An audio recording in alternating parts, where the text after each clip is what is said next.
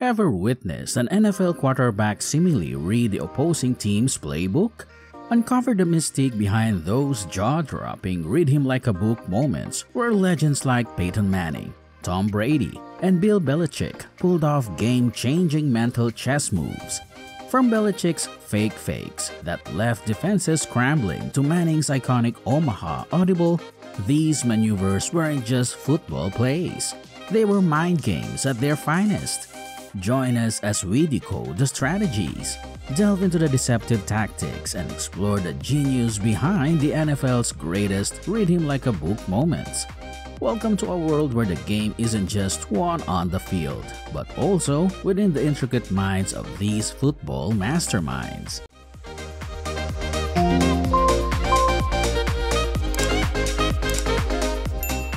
Bill Belichick is known for his elaborate Peyton Tom Brady's silent snap count is a strategy used by the New England Patriots to catch the defense off guard and gain an advantage. This play is typically used in loud stadiums where it is difficult for Brady to communicate with his offensive linemen using verbal cues. Instead of using verbal cues, Brady and the center will use a silent snap count. The center will snap the ball when Brady lifts his leg giving the offense a split-second advantage over the defense. This could be a very effective play, as it can lead to big plays and even touchdowns. How does the silent snap count work? Brady will make his audibles at the line of scrimmage. The center will then wait for Brady to lift his leg. When Brady lifts his leg, the center will snap the ball. The offensive lineman will then block for Brady and the running back. The silent snap count is a very effective play because it is difficult for the defense to anticipate. The defense is typically looking for verbal cues from the offense, so when the offense uses a silent snap count, the defense is caught off guard. This can give the offense a big advantage, as they can run the play without the defense being able to react. The silent snap count is just one of the many ways that Tom Brady and the Patriots have been able to deceive their opponents over the years. Brady is a master of game preparation and deception, and he has used his intelligence and creativity to help the Patriots win six Super Bowls. Brady's intelligence and creativity are just two of the many reasons why he is considered one of the greatest quarterbacks of all time. He is a true master of his craft, and he has used his skills to lead his teams to many victories. So, like, subscribe, and stay tuned until the end to learn more about the other read him like a book moments that occur in the NFL every season. These moments are a testament to the intelligence and creativity of the game's coaches and players, and they are sure to entertain and amaze you. Andy Reid's 2-minute drill is a signature offensive strategy that has become synonymous with his coaching success.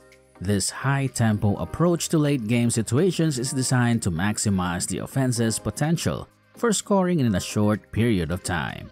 The drill involves a series of scripted plays, typically ranging from 10 to 15, that are practiced extensively throughout the season.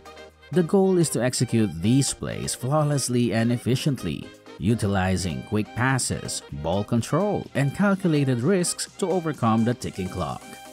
The effectiveness of Reid's two-minute drill lies in its ability to catch the defense off guard and exploit their vulnerabilities. The offense's familiarity with the scripted plays allows for rapid decision-making and precise execution, while the defense is often scrambling to adjust and react. This element of surprise can create opportunities for big plays and ultimately lead to touchdowns. 2005 Super Bowl In the final minutes of the Super Bowl, the Philadelphia Eagles were trailing the New England Patriots by 3 points.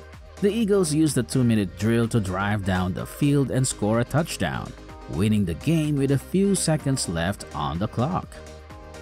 2019 AFC Championship Game In the final minutes of the AFC Championship game, the Kansas City Chiefs were trailing the Tennessee Titans by 10 points.